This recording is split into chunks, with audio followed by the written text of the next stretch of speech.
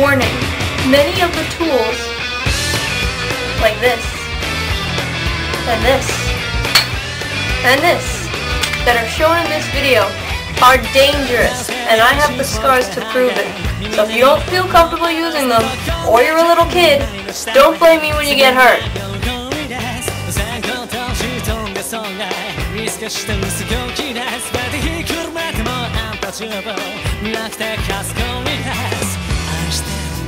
ね愛してよ愛してよブルーに愛してよね愛してよ深く壊してただすばに抜け殻を一にスランドをお願い理由そのだとつけさめく焼き上に結構浴槽内集体と泡入り乱れたなはい I have to put fabric over the chicken wire because chicken wire is ugly. and also because um, if the feather, if there's a gap in the feathers or or something like that, you don't want chicken wire peeking through or empty space peeking through.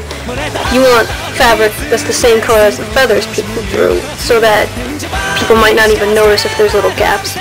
Um, this material is actually my high school graduation gown, which I've completely mutilated. But the point of that is that this doesn't have to be good material. "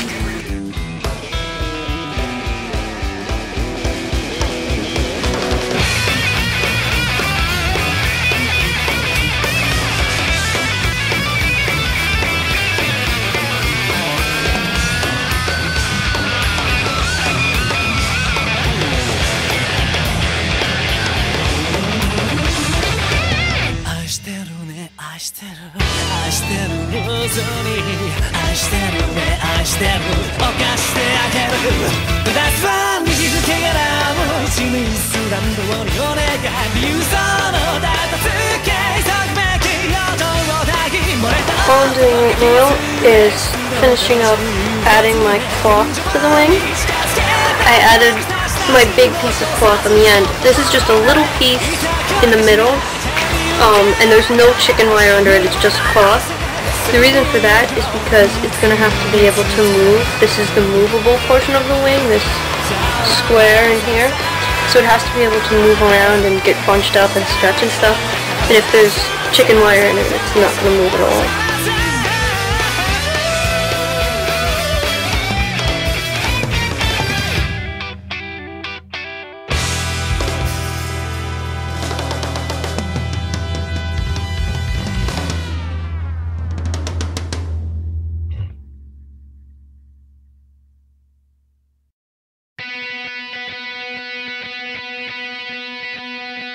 So I was working on my harness today for my wings, and I realized that they're getting to be too heavy.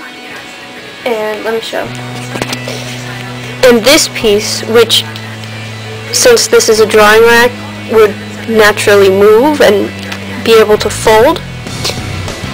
At first, duct tape was enough to keep it straight, but because of all this stuff that I added, especially the chicken wire, it's just gotten too heavy, so as soon as it stands up, this bends over like that.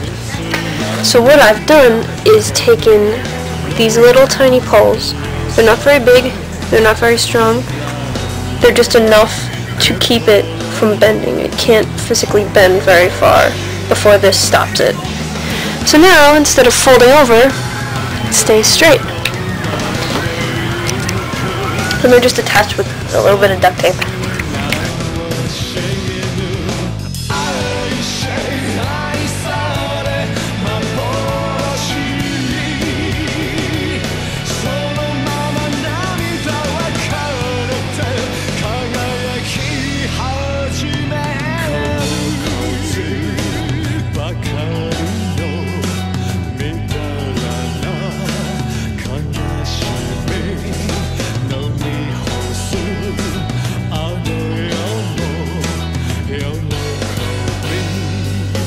Okay, so remember what I just did with the bottom? I have to do that with the top too. This part up here, this is the part that's not going to fold or move. Um, and it's very heavy because it has chicken wire. And this piece right here wants to bend. So when this goes up, that goes down. so I'm taking a piece of wood